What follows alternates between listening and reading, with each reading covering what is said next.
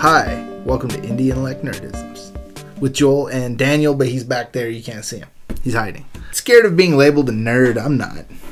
I'm about it, about it. Like Master P, I'm about it, about it. So, what I want to talk about today is my DS. This is like old school. I kind of talked about it in the last Nerdism when I talked about my Zelda haul. Um, picked this up for 20 bucks on eBay because it's kind of got a busted hinge, but it came with this awesome Nerf case. Um, 20 bucks. It's got a busted hinge, but like I talked about on the Zelda haul, I want to swap out the case, so I didn't really care that much. But the thing I want to talk about today is uh, this little thing. So it's Nintendo DS cartridge, but it's got a, uh, an SD card in it, so you can run homebrew software or backups of the games that you legally own, which of course I do. Um, this is like 11 bucks on dsflashcarts.com or flashcart.com. Uh, that guy was had really good customer service, so if you want to buy this sort of thing, I, I definitely recommend you buy it from him.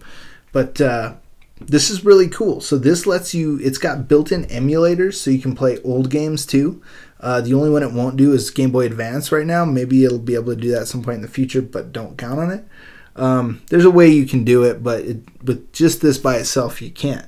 So this is an Ace 3DS Plus. It'll work in your Nintendo DS or a 3DS. So it's got software on there that emulates a Nintendo DS cartridge or a 3DS cartridge if you have a 3DS.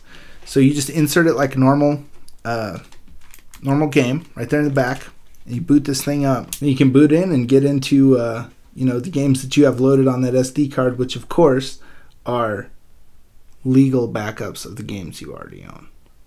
It's completely legal. We're all above board here. So now you can get your Super Mario Brothers on and, and look at the back of the DS while you do it and record it on YouTube so everybody can see the game but you while you play it. You can get all kinds of cool games on there, and uh, you know that way you can keep your games in, good condition. You know, I, I bought those Zelda games. Uh, if you haven't seen Zelda Haul, go check it out if you're into that sort of thing. Um, bought those games to collect. You know, I don't want to be sliding them in and out of my my DS all the time and scratching them all up. So we'll set those aside. I'll play the backups on my. Uh, on my Ace 3DS Plus here. I'll throw a link in here for the people who are interested and go buy that. Um, but it's a pretty cool little gadget. So you need your own SD card to jam on it, but uh, check that out. Get your nerd on. Thank you very much for tuning into Nerdisms. We have another video about our 100 days challenge. Definitely go check that out. Um, that's going to be a super cool thing for all the third wave YouTubers, you to get to know people, or if you're a YouTuber yourself, get out there and, and get to know some other people and get your channel known. So go check that video out, and uh, we'll catch you guys next time.